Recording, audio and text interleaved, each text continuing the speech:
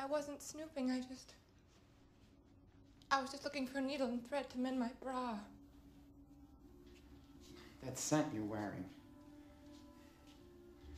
I bought that for you. The thing about Dickie, so many things. That day, when he was late coming back from Rome, I tried to tell you this. He was with another girl. I'm not talking about Meredith either. Another girl that we met in a bar. He couldn't be faithful for five minutes. So when he makes a promise, it doesn't mean what it means when you make a promise or I make a promise. He has so many realities, Dickie, and he believes them all. He lies. He lies. And that's his. And half the time he doesn't even realize he's doing it. And today, I really started wondering whether he may have killed Freddie.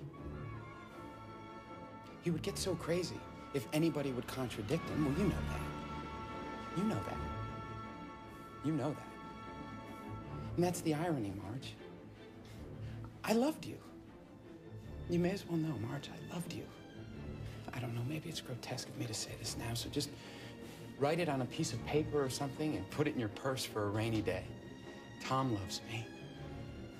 Tom loves me. Why do you have Dickie's rings?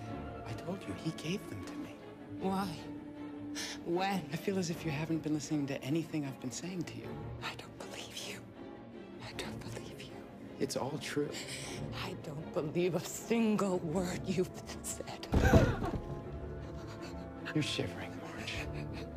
Look at you, Marge. Can I hold you? Will you let me hold you? Oh!